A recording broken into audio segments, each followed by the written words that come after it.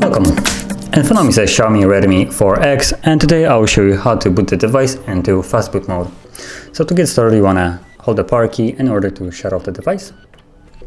And select power off and wait for it to actually power off.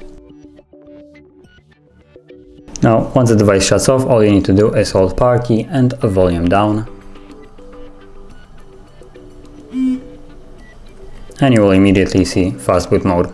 So that is how you would access it and if you wish to leave it all you need to do now is just hold power key till the device powers off and then it will power back on on its you will see that it's turning back on.